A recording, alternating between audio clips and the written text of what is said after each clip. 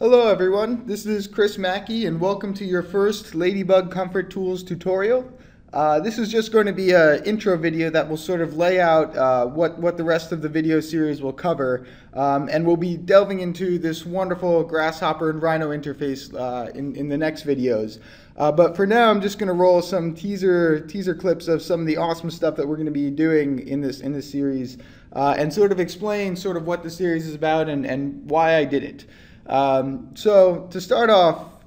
so why comfort? And uh, and and so this is this is something that has been uh, in that has interested me for a long time, and it's something that a lot of architects and building scientists have known is a huge, potentially huge saver of, of energy uh, and and make you know something that could really make a big dent in towards uh, towards reducing uh, energy use uh, in, in in the future. Um, uh, but the thing is, uh, and, and I've, well, I've tried to push for it in a lot of my, my design uh, projects over the past few years um, and, and sort of struggled with, with sort of using it in new creative ways uh, to, to, to try and either make people more comfortable and happy or to, to reduce energy. Um, but the thing is, as I, as I kept pushing hard into this, into this new realm of comfort, it became uh, uh, somewhat apparent that, that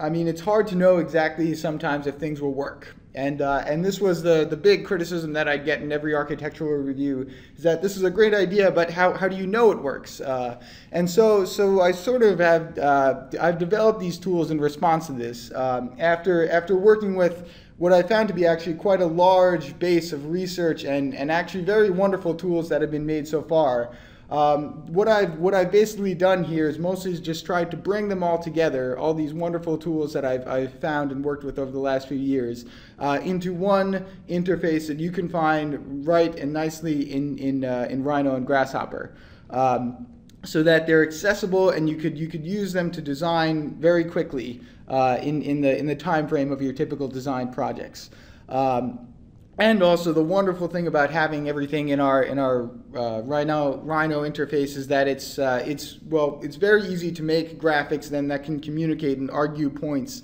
uh, and explain why some strategies would work and, and, and how things could still be comfortable um, uh, more more easily to uh, to a, a, larger public and uh, and and the and the clients that you might actually be working with on projects that that where you might be presenting such ideas.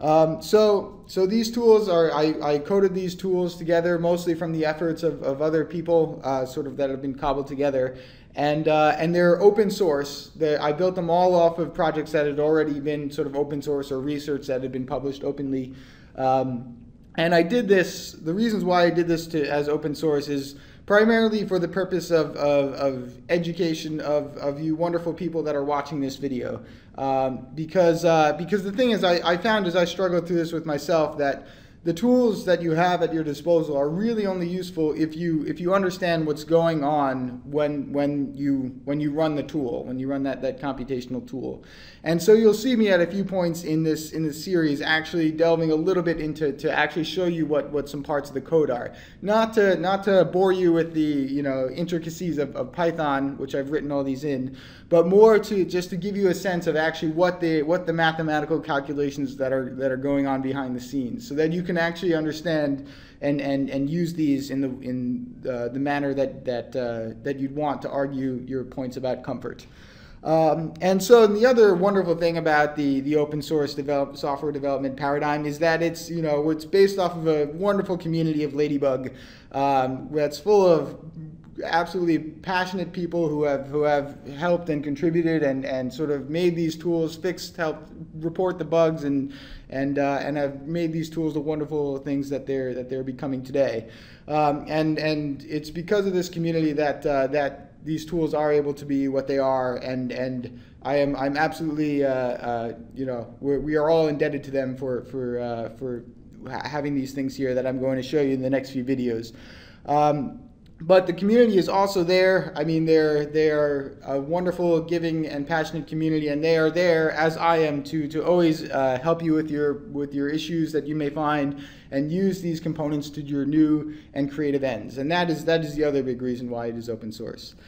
So with, with that brief introduction, we're going to dive into the, the first four videos that, that follow this one are going to deal uh, specifically with some more fundamentals of exactly what what uh, what comfort models uh, I have I have put into into Grasshopper and Ladybug here. Uh, and then the next few videos, there's going to be a, many beyond this. There's, there's, I mean, this the initial series will just have a few, but it's going to be a growing number of videos that will show you how to actually really apply these comfort models to, to design problems and, and use them towards your, your specific and creative ends. So with that, let us let us begin, and we are. I'll see you in the next video.